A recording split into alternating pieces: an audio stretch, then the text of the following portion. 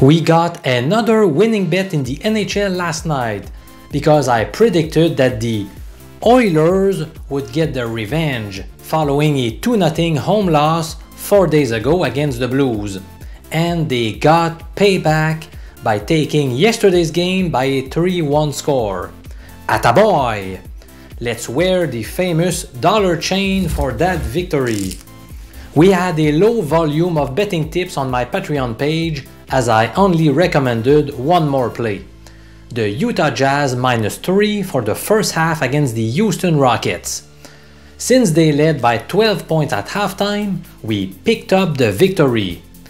So far this week, I have suggested 11 bets whose combined record has been 8 and 3. As usual, I have shared with you the link to my Patreon page in the description of this video below. That being said, are you ready for my daily NHL pick? It's coming right up.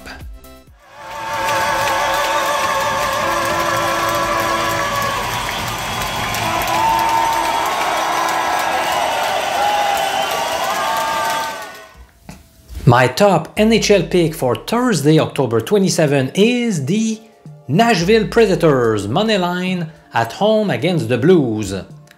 At the time I shared this pick, 8.41 am Eastern Time, the highest odds were minus 147 in American format or 1.68 in decimal, as you can see on your screen right now. I suspect that the line will go down later today, so maybe the line won't be the same when you get to watch this video, who knows. It's always hard to predict. One of the main advantages of backing the Preds in this matchup is the rest factor, which favors Nashville in a big way. Indeed, the Blues are not only playing back-to-back -back games, but they will be playing a third game in four nights, all in different cities, which involved a lot of traveling. Meanwhile, the Predators have had four full days of rest since their last game on October 22nd. I've got more arguments for you after this very short break.